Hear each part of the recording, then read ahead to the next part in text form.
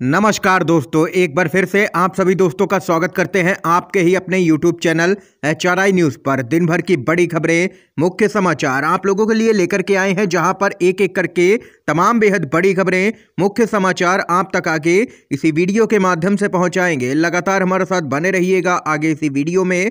तो वहीं दोस्तों, खबरों की तरफ़ बढ़ने से पहले आप लोगों से एक छोटी सी रिक्वेस्ट है अगर आप लोग हमारे YouTube चैनल पर नए हैं तो चैनल को अभी सब्सक्राइब करके पास में ही बने बेल के आइकन को ज़रूर दबाइएगा। और अगर आप लोगों को आके ये वीडियो पसंद आए तो एक प्यार वाला लाइक वीडियो को ज़रूर कीजिएगा। पहली बड़ी खबर आप लोगों को बताते चलें। बड़ी खबर आ रही है, कांग्रेस शासित हिमाचल में अडानी विल्मर के कार्यालय पर छापा पड़ा है। जी हाँ दोस्तों हिमाचल प्रदेश राज्य आबकारी विभाग के अधिकारियों ने देर रात अडानी समूह की एक इकाई पर छापा मारा है। राज्य विभाग के अधिकारियों ने सोलन स्थित अडानी विल्मर कंपनी की कैरिंग एंड फॉरवर्ड इकाई का निरीक्षण किया। मीडिया रिपोर्टों के अनुसार जीएसटी अधिकारियों ने जीएसटी उल्लंघन के आरोपों को लेकर के अडानी विल्मर के कार्यालय का दौरा किया है और छापा मारा है।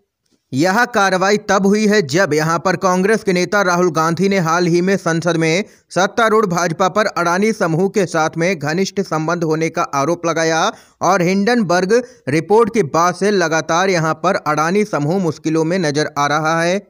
इसके साथ ही एक और अपडेट की तरफ़ चलते हैं। पीएम मोदी ने संसद में की है शाहरुख खान की फ़िल्म पठान की जमकर के तारीफ़, बोले, सालों बाद थिएटर हाउस फुल चल रहे हैं।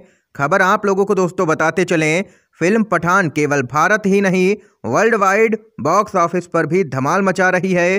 फ़िल्म ने अब तक यहाँ पर वर्ल्ड वाइड आठ सौ पैंसठ करोड़ का आंकड़ा पार कर लिया है और वहीं फ़िल्म की सफलता को लेकर के देश के प्रधानमंत्री नरेंद्र मोदी ने तारीफ़ की है। पठान हिंदी सिनेमा के इतिहास में दुनिया भर में सबसे ज़्यादा कमाई करने वाली फ़िल्म बन गई है। बताते चले श्रीनगर के आईनॉक्स राम मुंशी बाग में पठान के शोज़ हाउसफुल जा रहे हैं। इस बात का ज़िक्र करते हुए प्रधानमंत्री नरेंद्र मोदी ने फ़िल्म की जमकर के तारीफ़ की है। देख सकते हैं, पीएम मोदी ने जमकर के की है फ़िल्म पठान की तारीफ़। इसके साथ ही एक और बड़ी खबर की तरफ़ चलते हैं। चुनाव को लेकर के एक बड़ा सर्वे आया है। महाराष्ट्र में बीजेपी को लगेगा ज़ोर का झटका यूपीए को 2024 में 2019 के मुकाबले मिल सकती हैं छः गुना ज़्यादा सीटें।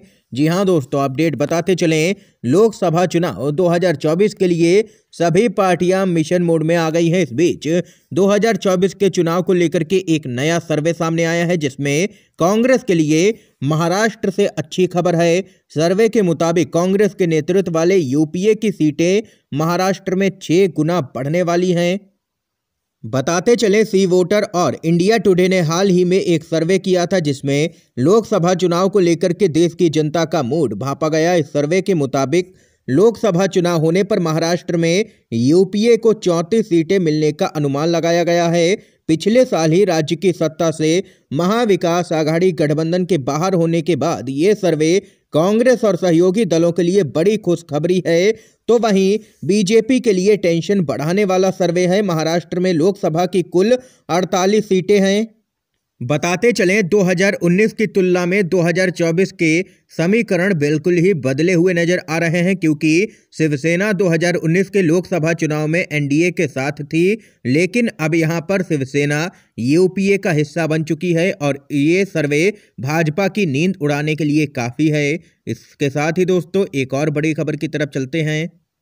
अडानी के मसले पर यूथ कांग्रेस आज सड़कों पर उतरी है। दिल्ली में कई जगहों पर प्रदर्शन किया गया है और पीएम नरेंद्र मोदी से जवाब देने की मांग की गई है अडानी के मुद्दे पर। और वहीं दूसरी तरफ़ आप लोगों को बताते चलें, यहाँ पर दिल्ली के जंतर मंतर पर बेरोजगारी, महँगाई और अन्य मुद्दों को लेकर के केंद्र सरकार के खिलाफ महिला कांग्रेस के सदस्यों ने यहाँ पर धरना दिया है।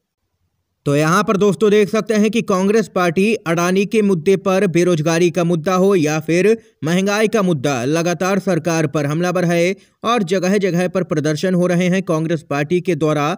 तो वहीं एक और अपडेट आ रही है, बताते चले। बीजेपी खेल रही है डबल गेम। बंगाल विभाजन के खिलाफ प्रस्ताव लाएगी टीएमसी, दिया है 48 घंटे का अल्टीमेटम। क्या कुछ है पूरा मामला, खबर बताते चलें। पश्चिम बंगाल के बजट सत्र के पहले दिन टीएमसी ने उत्तर बंगाल को अलग राज्य बनाए जाने की मांग को लेकर के बीजेपी से अपना रुख स्पष्ट करने को कहा है। टीएमसी ने बंगाल के विभाजन के खिलाफ विधानसभा में प्रस्ताव लाने की घोषणा की है। उत्तर बंगाल के विकास मंत्री उदयन गुहा ने राज्य के बंटवारे पर अपना साफ़ रुख बताने को लेकर के बीजेपी को 48 घंटे का अल्टीमेटम दिया है। उन्होंने बीजेपी पर बंगाल के लोगों के साथ डबल गेम खेलने का आरोप लगाया है। टीएमसी का आरोप है कि इस मांग के पीछे बीजेपी के ही नेता हैं। और वह लोग पश्चिम बंगाल को तोड़ने की कोशिश कर रहे हैं, लेकिन इस साजिश को किसी भी कीमत पर कामयाब नहीं होने दिया जाएगा। ये यहाँ पर टीएमसी की तरफ़ से बयान आया है। एक और अपडेट की तरफ़ बढ़ते हैं। कांग्रेस के अध्यक्ष मल्लिकार्जुन खड़गे ने कहा, एंकरों को खरीद लेती है सरकार। अपडेट बताते चलें। उन्होंने केंद्र सरकार पर निशाना साधते हुए मीडिया का भी मुद्दा उठाया है। यहाँ पर कांग्रेस अध्यक्ष खड़गे ने कहा है कि सरकार एंकर खरीद लेती है। कांग्रेस अध्यक्ष के इस बयान पर एंकर रूबिका लियाकत ने एक ट्वीट किया है भड़कते हुए। दरअसल दोस्तों, पहले आप लोगों को बताते चले कि कांग्रेस के अध्यक्ष ने क्या कुछ कहा है। कांग्रेस के अध्यक्ष मल्लिकार्जुन खड़गे ने कहा है कि संविधान में सभी को सवाल पूछने की आज़ादी दी गई है। उन्होंने आगे कहा है कि सरकार में सच बोलने वालों को बोलने ही नहीं दिया जाता है, सच लिखने वाले को लिखने भी नहीं दिया जाता है। और वहीं शाम को होने वाली टीवी डिबेट में अगर कोई एंकर सत्ता से सवाल करता है तो उसे दूसरे दिन ही हटा दिया जाता है या फिर सरकार उसे खरीद लेती है।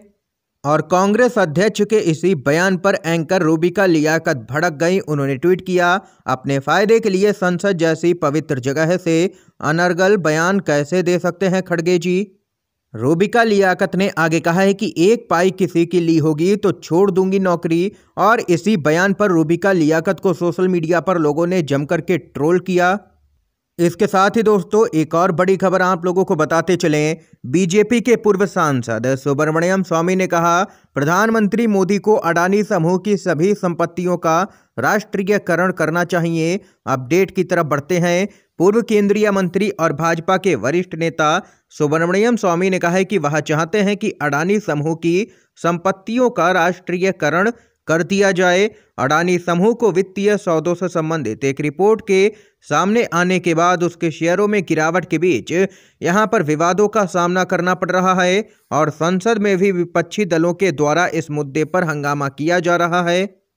और ऐसे वक्त में बीजेपी के ही नेता सुब्रमण्यम स्वामी की यह मांग भाजपा की मुश्किलें बढ़ा सकती है, क्योंकि इस समय अडानी के मुद्दे पर भाजपा पूरी तरह से बैक फुट पर ही नज़र आ रही है। राहुल गांधी लगातार हमलावर है सरकार पर। इस समय की दोस्तों, आज की तमाम बेहद बड़ी खबरें मुख्य समाचार थे जो हमने आप लोगों तक पहुँचाए। अगर आप लोगों को ये वीडियो पसंद आया हो तो अभी इस वीडियो को लाइक कीजिएगा। ज़्यादा से ज़्यादा इस वीडियो को शेयर कीजिएगा अपने सभी दोस्तों में, ताकि आप सभी के दोस्त भी इन मुख्य समाचारों को जान सकें। वीडियो देखने के लिए आप सभी दोस्तों का बहुत बहुत धन्यवाद।